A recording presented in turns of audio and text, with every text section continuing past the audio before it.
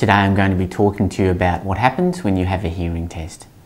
I'm going to walk you through the three steps of what we do when you have a hearing test. The value that I hope you get from watching this is that you feel comfortable and relaxed when you come in for the test.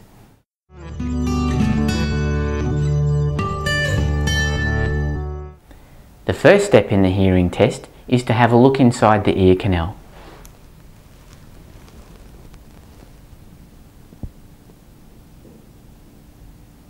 Okay.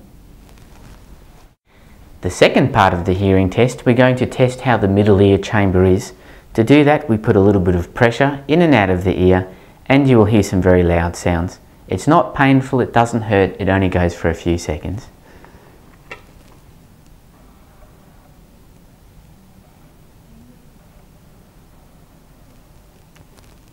There we go, over in a few seconds. The third step of the hearing test, we put headphones on the ear and typically you'll sit in this little soundproof booth and when you hear the tone, you press the button.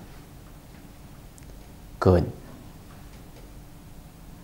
Thanks for watching.